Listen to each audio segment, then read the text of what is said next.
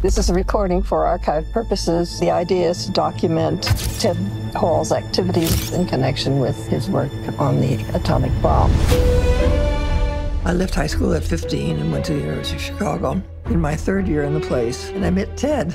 We just went around together. Ted Hall was a man with a remarkable mind. He was a senior at Harvard at the age of 18. A recruiter from Washington came up his mission was to pick up a few very junior physicists to help in the research work at Los Alamos. Suddenly, Ted went all serious and he said, There's something I have to tell you. He was working on the implosion bomb. It was one of the major secrets of the war. We have now added a new and revolutionary increase in destruction. Something gruesome and horrible was being constructed knowledge should be shared. They had decided they wanted to get in touch with the Soviets.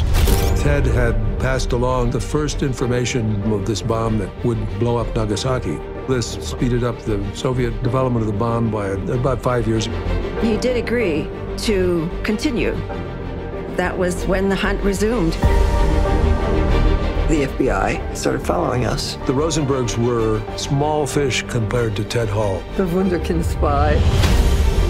It was very dangerous that the Americans had a monopoly of this weapon. Did you provide information to the Soviet Union? What should have been done with Ted Hall? Shot. The world has come extremely close to real, actual, total disaster. What made you do it? I guess a major factor would be compassion.